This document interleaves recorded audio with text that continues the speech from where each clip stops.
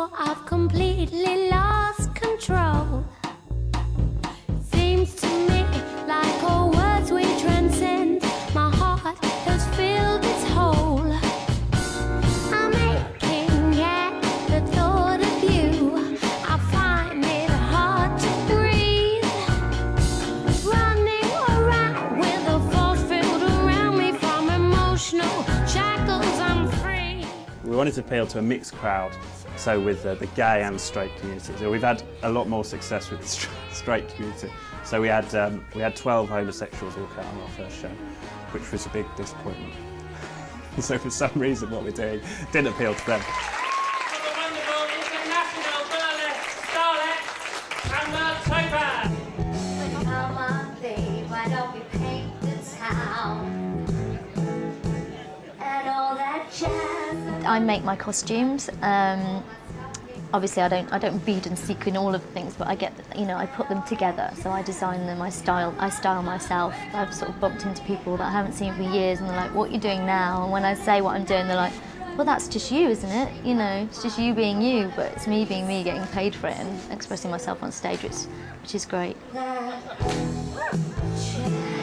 I'm one of only two people in the world that combine upside down juggling or bounce ball juggling and tap dance together. Well, in the last couple of years, I've been uh, working on the whole rhythm with the with the balls.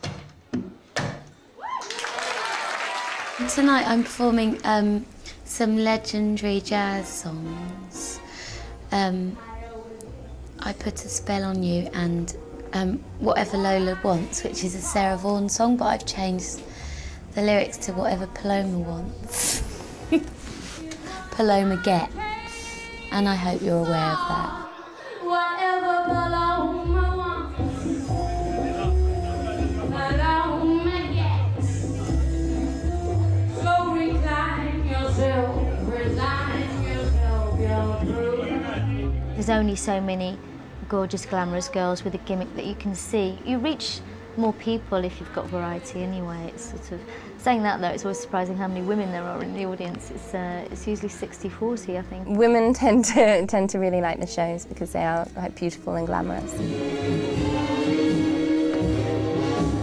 It's just been a really positive response from, from the audience for a few years. That's why we kept going with, with it. If you've had a juggler followed by burlesque, followed by someone who will sing something beautifully for you, then it's like a it's like a tapas, I think, that you know, you've got all these different tastes, but once you put it together, if it's done well, then it's delicious. He said keep the 355 because his triple latte was on him.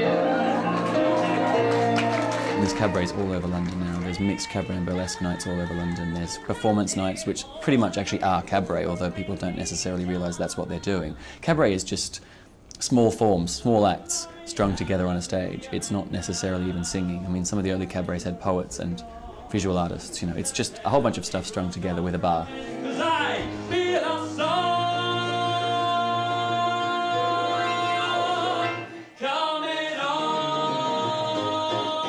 It's a great meal shared with friends. It's fantastic live entertainment, bringing the best performers um, together onto a single bill, and, and it's dancing till late.